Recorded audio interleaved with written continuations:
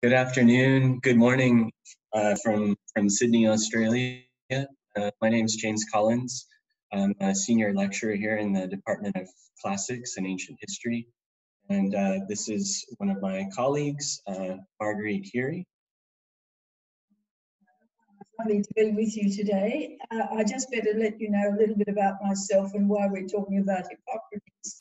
I'm a retired physician and uh, I've uh, found myself in my retirement being interested in ancient things. And of course, one of these is Hippocrates, who is called the father of medicine.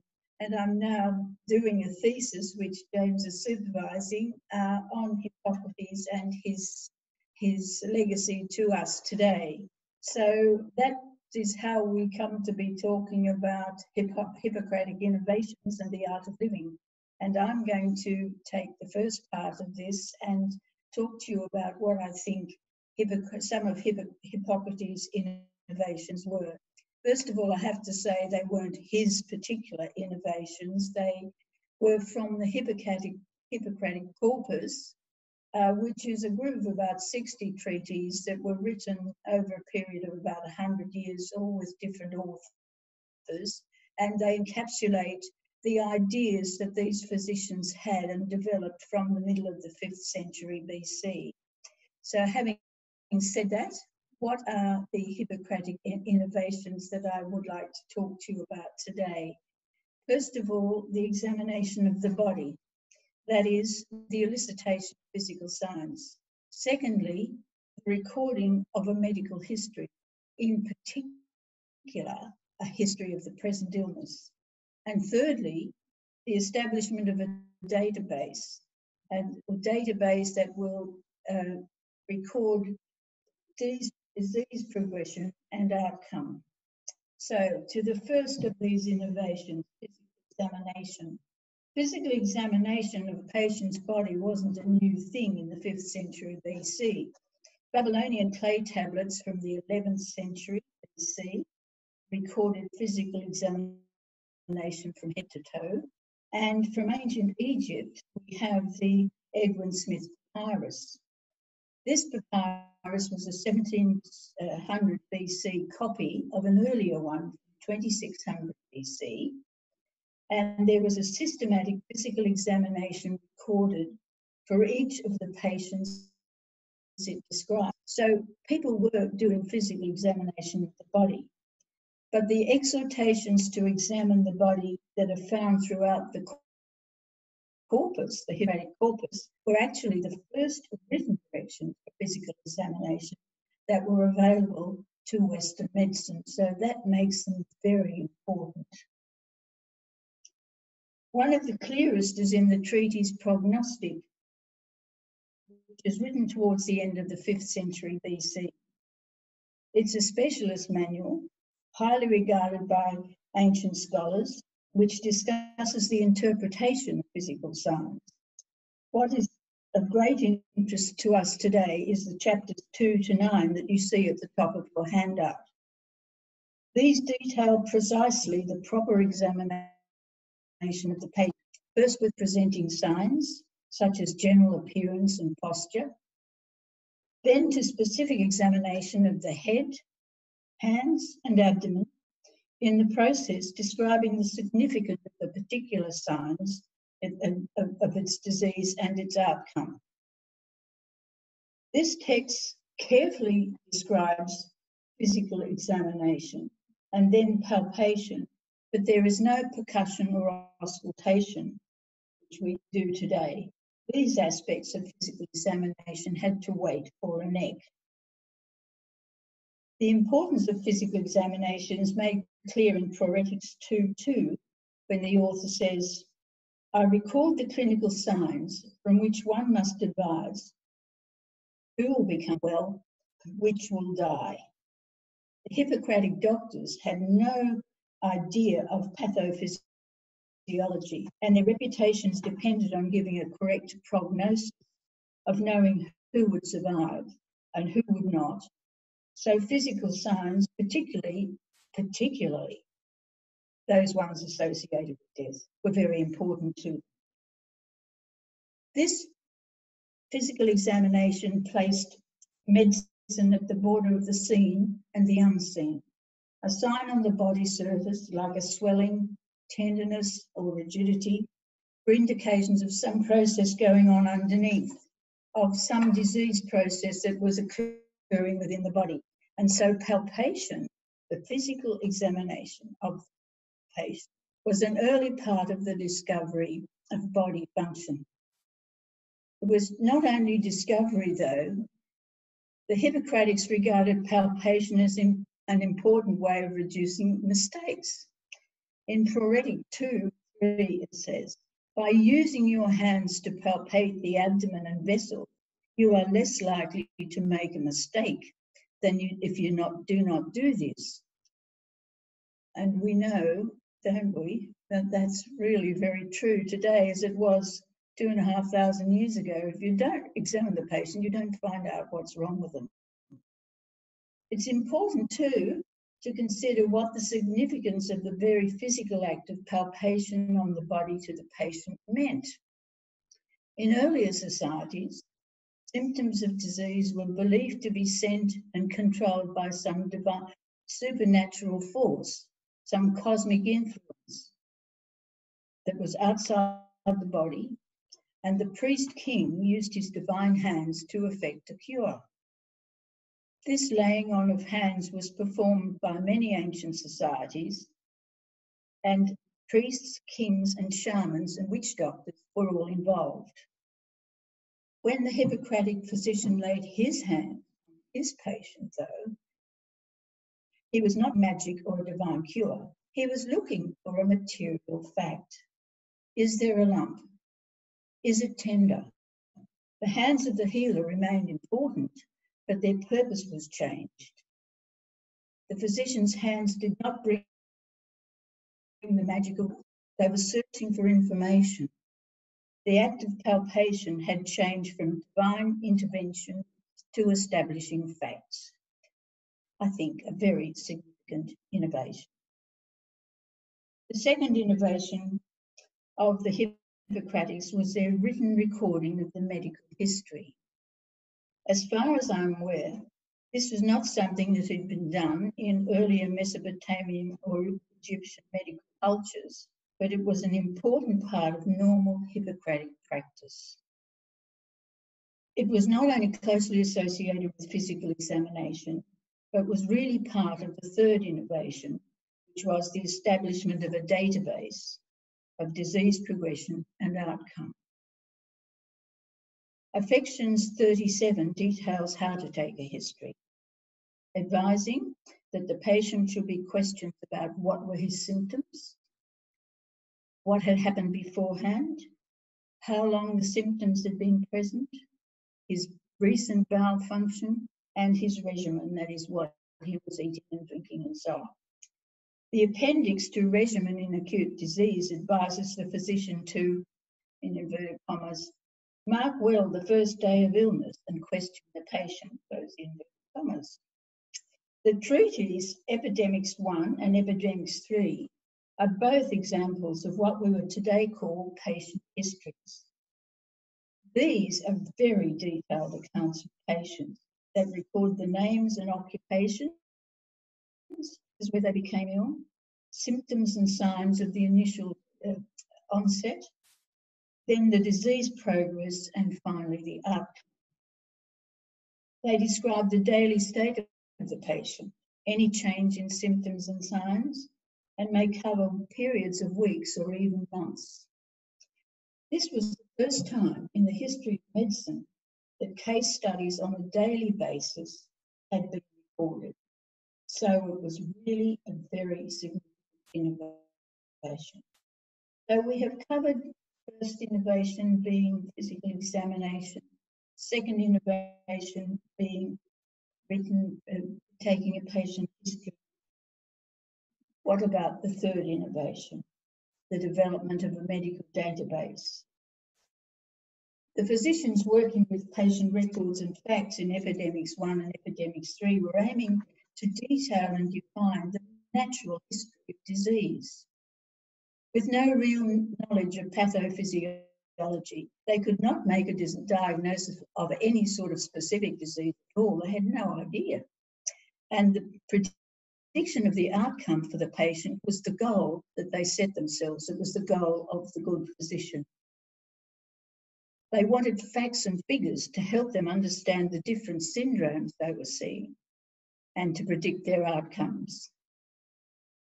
This database could help them to develop their skill of prognosis.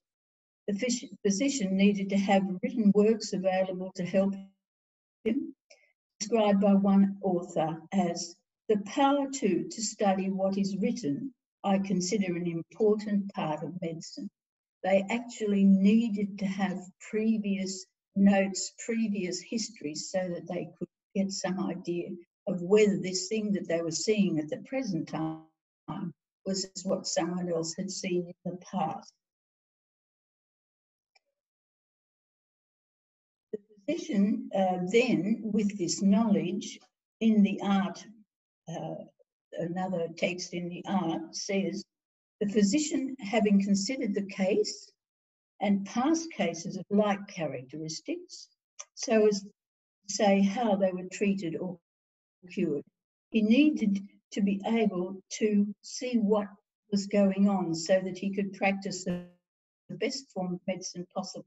He was using accumulated data and comparing it with what he saw in the patient who was sitting in front of him. He will take a history, do a physical examination, then make an informed and logical decision about what, has to be done. What, a, what is of very high importance is the ability to decide if the patient will actually survive disease. This is brought out particularly in epidemics 1 and epidemics 3. There are 42 case histories which result in 25 deaths. And it was also known that acute disease was the most, most lethal. And again, it was known that it was possible, knowing what was written, to foretell death. So you'll note as we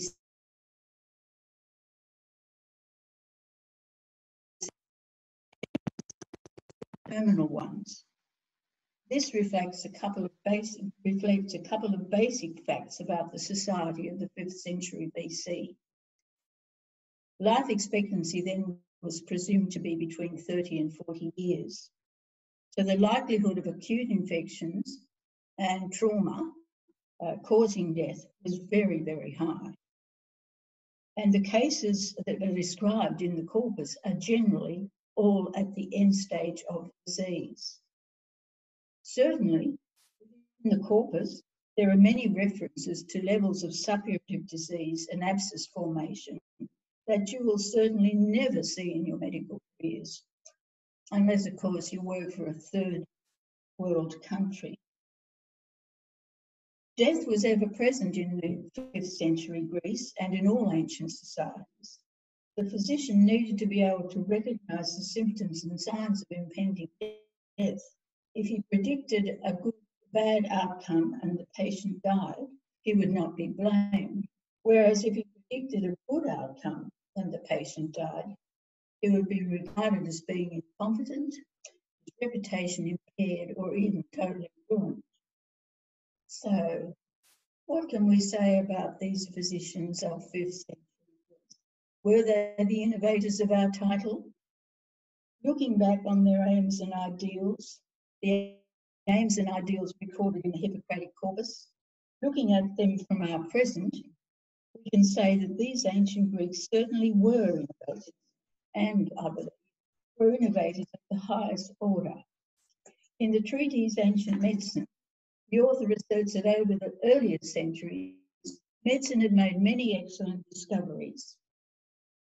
And it was now in the fifth century uh, able to produce a method and a principle to continue research. These men wanted to give their patients the best treatment, to investigate their symptoms, to examine their bodies, to research into the cause of disease and find a treatment. Their insistence on recording the history and performing a systematic physical examination and building up a database to enable prognosis was actually a new, rational, and scientific approach to the body, both in health and in disease. This attitude was quite different from earlier times and different from the medical practice of other civilizations at the same period.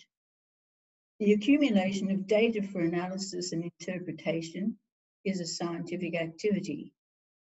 The interpretation of the data is the essential process of scientific reasoning. So, to sum up finally, the Hippocratics, they examined, recorded, and interpreted physical science. They collected data and interpreted. They took the practice of medicine into a scientific art. They were true innovators. And now to tell you about how they behaved in relation to art of living, Dr. Collins will talk. Thank you, Marguerite. That was uh, excellent. And uh, I, I, will, um, I'll be building on what Marguerite's um, given us today, um, taking it in a slight, slightly different direction, which uh, she and I, uh, she and I uh, uh, regularly, so we're happy to continue that debate. You'll see this is a very different direction, but it comes back to many of the things that, that Marguerite um, gave us. So let's now turn to innovations in Hippocratic practice concerning the wellness, not of the patient, which was always the primary concern, but of the physician himself. Before we start, it's important to note what wellness as a concept or condition with regards to the physician might mean in the context of the Hippocratic Corpus. For the patient, wellness must mean in the ancient Hippocratic context physical and even mental health, which is a return to a normal, natural state. The mental health of the patient, as we shall see, often affects his physical. But the Hippocratics do not appear concerned with the physical health of the physician himself. In fact, it appears in some instances that the Hippocratic physician might have knowingly put himself in harm's way. For instance, he gathered that the environment, specifically the air, surrounding those with epidemic diseases, contains the cause of illness. In these cases, the primary directive was to take care uh, that the patient, quote, inspire as little as possible and from a source as far as, as far removed as possible, and thus be removed from the contaminated area. Indeed, the only reason the physician should abandon his ward was not for fear of proximity to the source of illness, but to avoid both the futility of trying to treat incurable patients and the ridicule of more skilled physicians who know better than to waste their time and talents on desperate cases. So we see that wellness with regards to the phys physician in this way has nothing to do with his own physical health, but something to do with his understanding the limits of his craft and his reputation. Before we develop these aspects of the physician's wellness, it will be helpful to turn to a broader discourse of well-being that emerges in the Mediterranean at the same time that Hippocrates and his colleagues are investigating the symptoms and natural causes of disease. Contemporary intellectuals like Democritus of Abdera and Socrates of Athens, the famous Socrates, uh, too are interested in health, but not health body or at least not health body alone. They both wonder whether bodily health is good if there is suffering and ignorance in the soul. Bodily health for them is merely a tool or an instrument for doing well in life. If the soul is devoid of reasoning, if it is led by love of pleasures, not only will it not know how best to make use of a healthy body, it will likely corrupt and ruin the body out of carelessness and reckless use. A sickness in the soul then brings a healthy body into a state of ruin. In order to do well and live well, Plato writes in the Protagoras through the mouth of Socrates, we must be concerned most with the health of that part of ourselves which uses and governs our bodies. In order to live well, Socrates suggests we find physicians of the soul, in order that we nourish that part of ourselves with good and beneficial. We're not here today to talk about philosophers. Marguerite's always reminding that. But this contemporaneous formulation of well being, of living well and doing well, what the philosophers called eudaimonia, may prove important to our understanding of Hippocratic practice in at least one significant way. It is clear from this language that the philosophical efforts to establish the priority of the soul and its care over the body and its care resort to the language and authority of medicine. As Democritus draws the analogy, medicine heals the sickness of the body, while wisdom rids the soul of its suffering. Scholars like Brooke Holmes have highlighted the various ways the physiological ideas of health informed ethical ideas of living In to flourish, we must approach and understand concepts like goodness and justice in ways similar to a physician approaching and understanding bodily health. Not only does the body become a model for the soul, but I would add that the approach of the physician to his work, that is both what Marguerite described, the care he takes to examine, record, and build a database in order to diagnose ailments and to prescribe healthy regimens. And also the care he takes to form the right relationships with patients and colleagues. Both of these become, in some ways, a model for philosophical inquiry and therapy. Plato's Socrates describes the ways that physicians praise and blame their patients, the ways they inspire obeisance and respect, shame and fear, and uses these to suggest by direct analogy, as well as by example, essential aspects of ethical training and investigation. The early medical texts that Plato likely had at his disposal appear only to touch on the nature of a sound physician-patient and physician-physician relationship. But later Hippocratic texts following Plato and his philosophical formulations for ethical well-being interestingly seem to respond to the philosophical models. Medicine became a model for philosophy, and this is really the big takeaway here, the second part. Medicine became a model for philosophy, and, and philosophy in turn becomes a model for medicine. The ethical project of training and becoming the right sort of person begins to influence the ways intellectuals think about training and becoming the right sort of physician. Thus, the techne or art of medicine, which consists of many of the innovations Marguerite just described, is transformed into and subordinated to a philosophical art of living, a techne to be, or as David Roochnik puts it, a stable body of reliable knowledge able to tell us in fixed terms readily teachable to others how we ought to live. And this ethical art of living, in turn, gets absorbed into a more expansive Hippocratic corpus about a discourse about how we ought to practice medicine.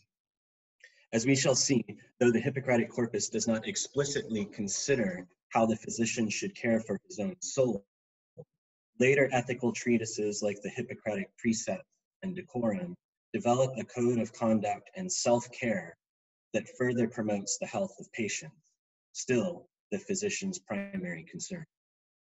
The code of conduct, this code of conduct and self-care in antiquity borrows language and concepts, philosophical traditions to provide a rich and nuanced portrait of the physician who develops virtuous capacities to improve Let's take a look at this portrait. In the often hopelessly and perhaps sometimes willfully obscure text titled On Decorum, or Unseemliness, Virtuous Behavior, we find the author clearly philosophical ground. He describes the physician who is a lover of wisdom, the physician, literally, who is a philosopher. And this is a handout. This is passage five on decorum. Medicine possesses all the qualities that make for wisdom. Freedom from avarice, shamefastness, blushing modesty, reserve, sound opinion, judgment, quiet, power to stand up against opponents, purity, righteous speech, knowledge of the things good and necessary for life, dispensing that which cleanses, freedom from superstition, prominence divine. What they have, they have in opposition to intemperance, vulgarity, greed, concupiscence, robbery, and shamelessness. Most of these qualities taken together comprise aspects of the two cardinal virtues of sophrosune and aidos, both of which are extraordinary to render in translation precisely because ancient theorizers of these virtues made them so complex. We might translate sophrosune as prudence or temperance or being measured and self-possessed all of which encompass qualities of shame, modesty, reserve, quietness. In fact, a certain quietness is precisely how one of Socrates' interlocutors understands. Following the philosophers, the Hippocratic makes akolasia, or licentiousness, and intemperance, quality to which the temperate and quiet philosopher physician is opposed. We might translate aidos as reverence, or indeed also as shame with obvious overlaps with sophrosune. Following ancient philosophers and poets, the classicist and philosopher Paul Woodruff includes in the content of this virtue of reverence feelings of respect, shame, and awe in the right circumstances we might observe that silence is sometimes an expression of awe and respect. As we shall see in the hands of this Hippocratic thinker, silence is often the right response to patients. Silence is also, incidentally, part of the right response to colleagues. I think it's also worth noting how this text elaborates with some subtlety on these virtues of reverence and self possession by adding to a quiet strength the portraiture of a blushing reserve. We might not wonder too much about the effects of these qualities of the philosopher position on others or even on himself. But the, the text does not explain straight away why these qualities might be important to his craft. We learn that a physician's failure to guard himself closely, to be practiced in these qualities of reserve and quietness, may lead to accusations against his treatment practice. He touched on but we also learned that being studied in the applications of cusses and bandages without being practiced in them with all reserve, as the Hippocratic says. Indeed, without measured grace in the hands themselves, he says, is a deficiency, a kind of aporia that leads to helplessness and harm. Helplessness here clearly indicates the feebleness of the physician's efforts, but the harm here is general and intransitive. It will become evident that there's enough harm in these instances to go around to patient, physician, colleague. It's not until the author of this ethical treatise turns to aspects of how a physician should approach and enter the room of a patient that we understand the significance of these virtues of being measured, and self-possessed for both the patient and himself. It is not, I'm sorry, this is the uh, passage 12 from uh, on entering. Bear in mind your manner of sitting, your reserve, your arrangement of dress. Have a decisive utterance, a brevity of speech, composure, bedside manners, care, replies to objections, calm self control to meet the troubles that occur, rebuke of disturbance, readiness to do what has to be done. The Greek here is strange, full of unusual expressions, ungrammatical formulations, and even words uh, that appear nowhere else in the whole of the surviving Greek corpus. But in addition to the ways the physician demonstrates his temperance with his outward appearance, that is, the way he sits, dresses, holds himself, and tends to and cares for the patient at his side, and demonstrates his temperance with his speech, which is decisive and brief but responsive. We also find a physician who creates composure in others while safeguarding composure in himself. The language borrows from Epicurean philosophy and makes eustatheia, stability, and ataraxia, or the freedom from anxiety and distress, essential goals in medicine. At a patient's side, the physician, physician tries to produce, in this context by means of his own body and voice, a state of tranquility in his distressed patient. As for the physician himself, the passage says, he meets any trouble, including this one before him, with his own tranquility. He is prepared for disturbances because he has cultivated tranquility in himself, together with reserve, shame, and silence. Interestingly, the Epicureans use this word for stability to describe the stable and healthy condition of the flesh. We are perhaps seeing in this instance of Hippocratic borrowing from philosophy further innovation, a turn to greater abstraction. Epicurean stability of the flesh becomes Hippocratic stability in the self. This strange text suggests in so many words a complex typology of physician and patient interiorities and exteriorities, which Marguerite touched on. And uh, um, in, in, in talking about the examination and understanding of physical signs. The physician inside is stable and grounded, practice and ready, measured and self-possessed, reverent and still. But he also takes care to demonstrate some of these qualities in his dress and demeanor, with his voice and with his hands. He keeps watch over himself clearly in ways that are ever mindful of how he seems to others, while he watches the patient and examines the signs on his body of what lies beneath.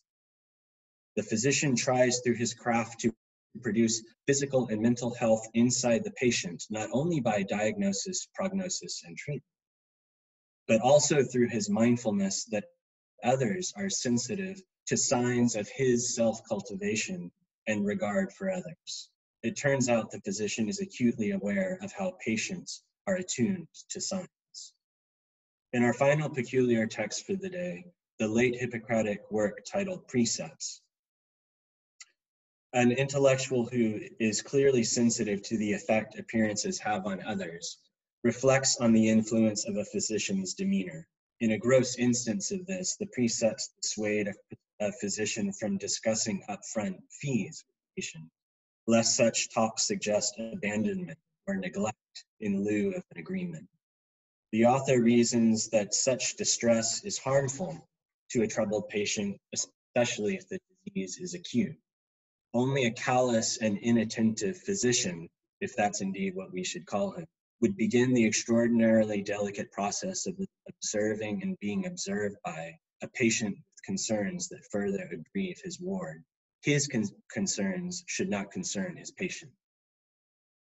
The fullest expression of the effect of self-moderation and self-cultivation on the patient comes soon after when the author urges the physician against putting too much distance between himself and the patient, and rather for serving freely and in a manner that, that is seemly. This generous and seemly demeanor should be supported in the physician by calling to mind an old memory benefaction Again, a grace inside supports an outwardness. But why should the physician do this? Because, the author notes, some patients, though conscious that their condition is perilous, recover their health simply through their contentment with the seemliness of the physician.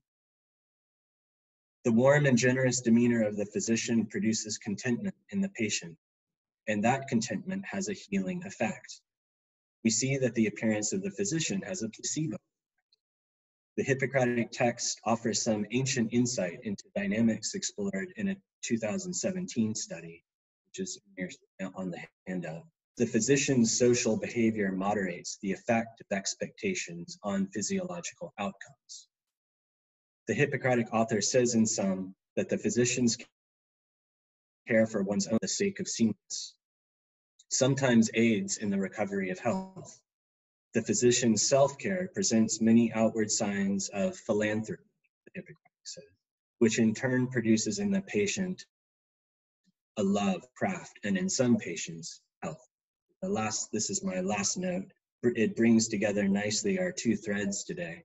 The Hippocratic innovations described at the start, the elicitation of clinical signs, the recording of a medical history, and the establishment of a database for prognosis comprise a substantial part of the physician's craft.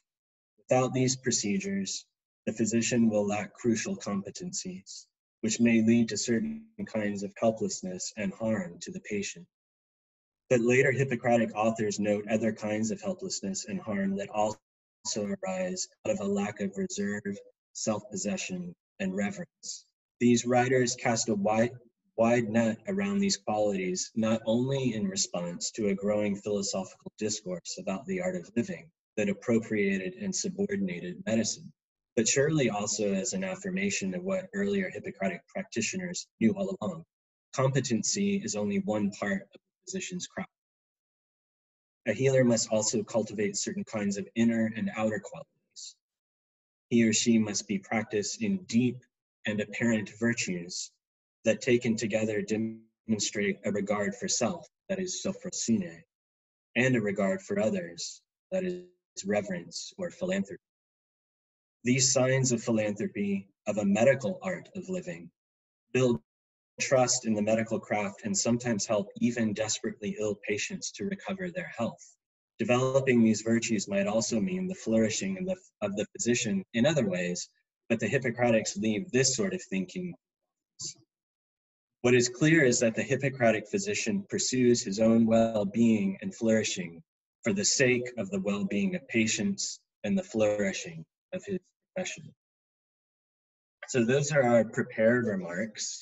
And we invite you to, um, to uh, post any questions in the Q&A.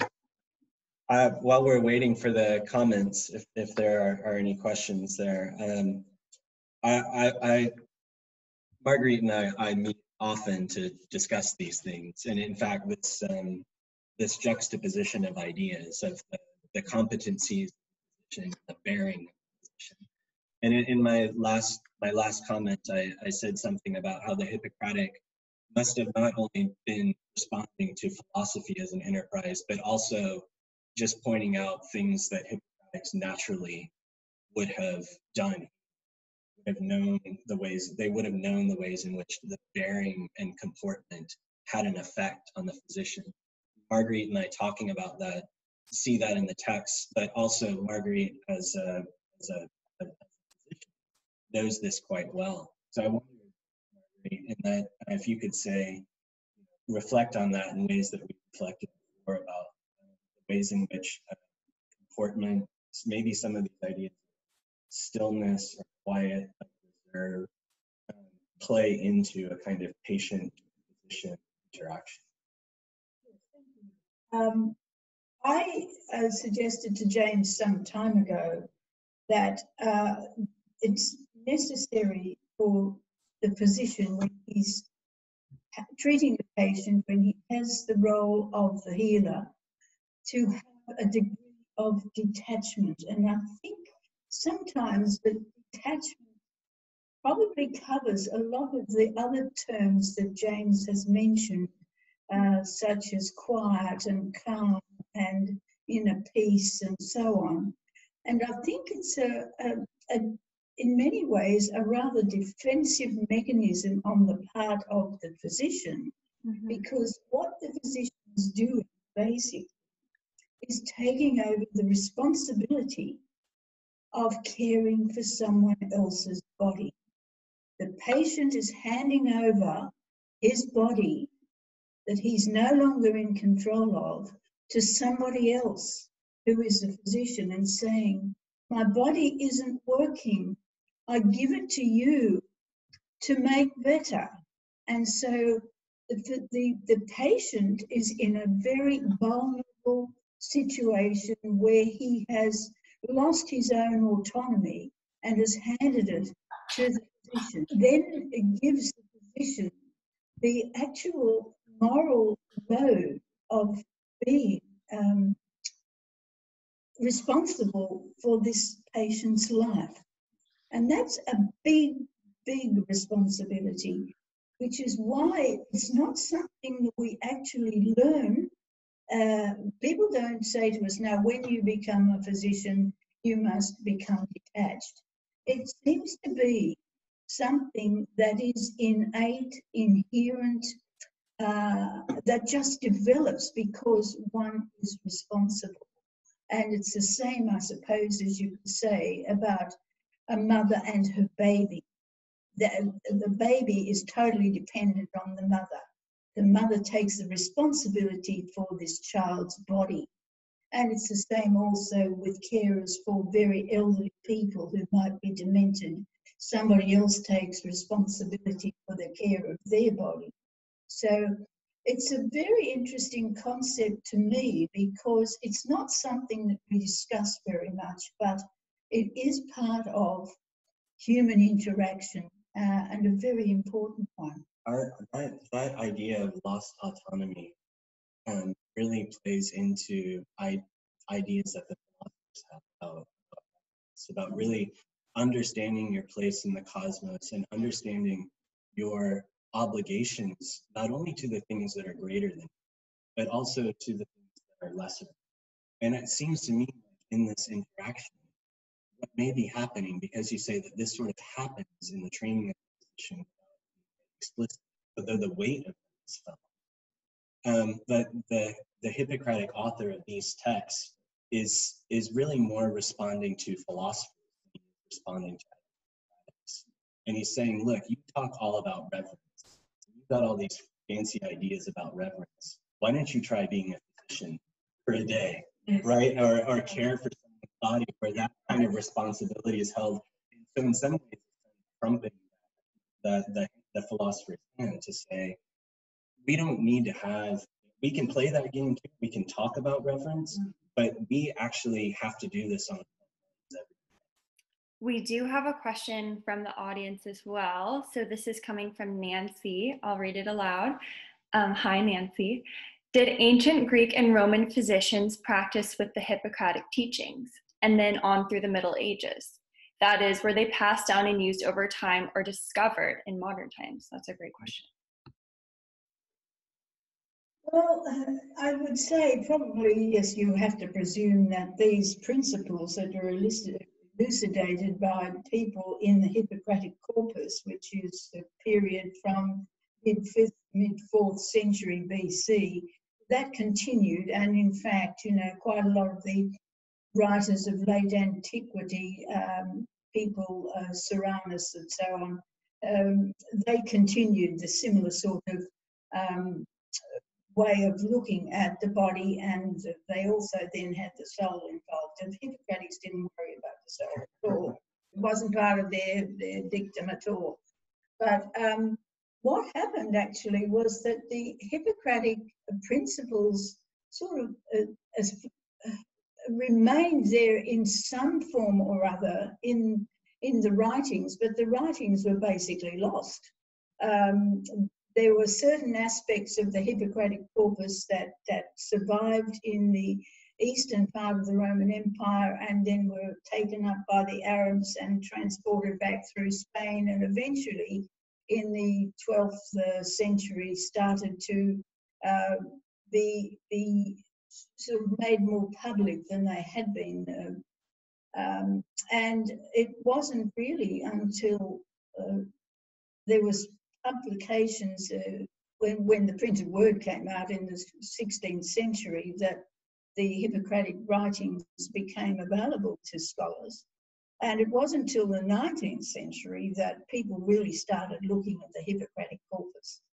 So it's had a bit of a checkered career, the Hippocratic corpus. It hasn't always been there to, to um, let people know what how they should behave, what they should think, etc.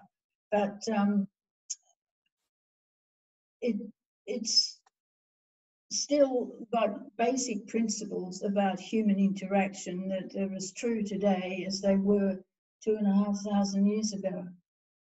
Marguerite's been doing a lot of work, uh, bedeviling work, to try and sort out how much of the, the patina of um, figures like Galen uh, and, and the philosophers and learned, the learned uh, uh, scholars who think about the body and, and what ails it, and how much of that can be uh, scraped away to, to reveal something more fundamental. And that's why she's turned primarily to the fifth century text, that are by most, agree to be the earliest, and in some ways, given the narrative that I shared, the most uncontaminated when it comes to um, the influence of philosophy and thinking about pre-Christian um, and early Christian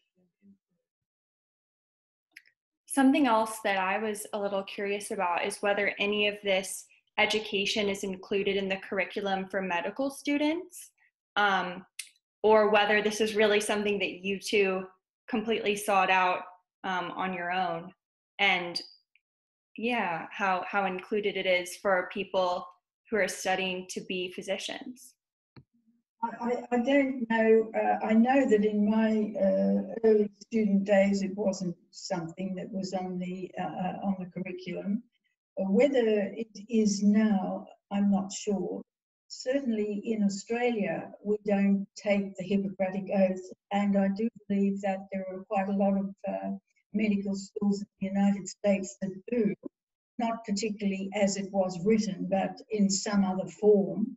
So um, maybe I think probably every country is different um, about how it approaches this sort of thing. But basically, um, everybody uh, who knows anything about the history of medicine uh, in the medical field will know the name Hippocrates as the father of medicine, and and and the and they they all presume that he wrote the oath. Uh, and that's about as far as it goes. I mean, it's very limited, the knowledge of the medical profession about these things. And so, in, in my retirement, as I said earlier, it's just been a lovely opportunity for me to delve into it and find some, perhaps find some answers. And I think uh, what we're learning as we, as we are looking at Helen King's book and some recent scholarship and, and actual curriculum design, there is more of an effort, I think, to to engage students uh, in in medical school and other um, health professions um, around how to cultivate, uh, how to and narrativize, how to think about um, one's demeanor in the health profession, right? How to engage with people, how to model certain kinds of engagement. And certainly one of the things that I mean, that isn't that what this this conference today is really all about in many ways, right? Is to reflect on these things. So you can see a growing discourse um, that started quite softly um, decade or so ago, but it's becoming more, much more mainstream, and, and both out of, um, I think, an effort to understand um, the roots of disciplines, but more fundamentally to actually um, to help physicians do their jobs better, right? to help physicians um, feel feel the right ways, to have the right capacities to to to actually do do these different have these different kinds of exchange. Uh, it's not discussed enough is probably what, what I would say about medical courses, medical curricula. Um, the, the, the state of the emotions and the mind of a student or recent graduate uh, never ever talked about. Uh, just you, I just suppose, to be big enough to get on with it. You know.